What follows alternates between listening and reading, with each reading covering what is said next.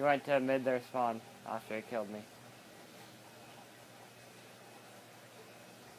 So he might have been going under. Oh, good shit.